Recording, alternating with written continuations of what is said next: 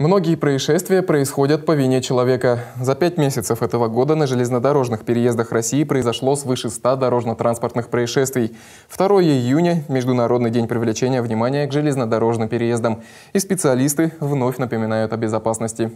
Несмотря на призывы автоинспекторов и работников железной дороги, количество аварий на переездах растет. По сравнению с прошлым годом эта цифра увеличилась на 38%. По Абаканскому региону произошло уже три ДТП в районе Красноярского края, по республике Хакасия, один в Кемеровской области. В дорожно-транспортном происшествии в Междуреченске погибли три человека. В день привлечения внимания к железнодорожным переездам специалисты призывают строго следовать правилам и быть бдительными.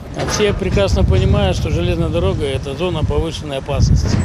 А тем более места пересечения железнодорожных путей с автомобильной дорогой. Я призываю всех водителей именно обратить внимание при подъезде к железнодорожным переездам на свободность его, потому что на данный момент не все железнодорожные переезды, которые у нас есть, э, и в том числе на Красноярской дороге, и в районе Кемеровской области, не все охраняемые.